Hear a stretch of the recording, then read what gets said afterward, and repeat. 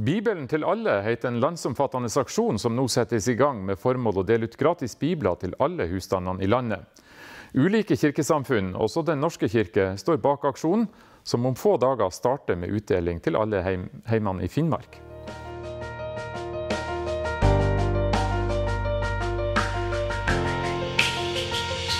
Jeg syns det er veldig flott at Bibelen nå blir delt ut i alle husstander i Finnmark.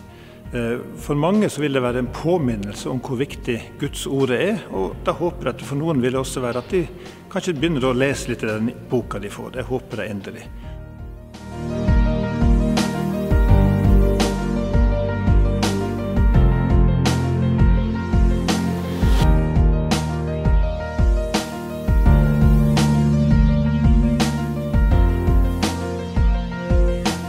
Vi har vært ute og delt ut bibler og gått dør til dør, så har det vært en utrolig eh, positiv opplevelse å treffe mennesker som har åpna opp hjemmene sine og åpna opp eh, hjertene sine for det som vi ønsker å bringe.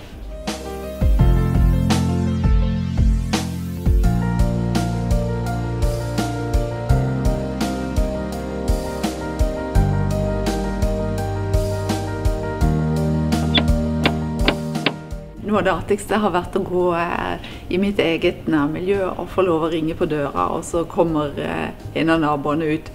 Og så, så sier jeg 'Å ja, det er her du bor'. 'Ja! Kan jeg få lov å gi deg en bibel?' 'Ja! Selvfølgelig! Å, tusen takk!'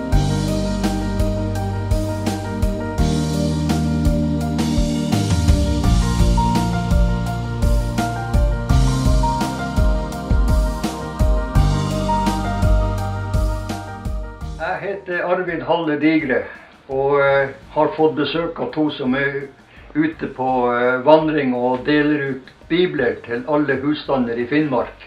Jeg syns det er kjempefint at dere ja, deler ut bibler gratis til folk. For det er mange som tenker på å kjøpe, men eh, det blir ikke. Enten så syns jeg nå at det er litt for dyrt og, og sånt. Men jeg syns jo at alle burde ha en bibel i huset.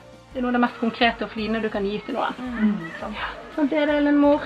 Nå har jeg altså snakka med flere som har hatt besøk av disse som har gått rundt, og veldig gode tilbakemeldinger på det jeg hører. Så det er tydelig at de som kommer og banker på og ringer på, de, de har en måte å fremtre på som, som oppleves som positivt for veldig mange. Når vi reiste rundt og møtte alle kirkelederne i alle kommunene i hele Finnmark i forberedelsen til Bibelen for alle, var det så mange som var slitne og lei av kristent arbeid. Nå har vi sett at etter at de har vært med på Bibelen til alle, har de fått ny tro og ny giv og et nytt håp om å se at evangeliet går fram i sitt lokalområde.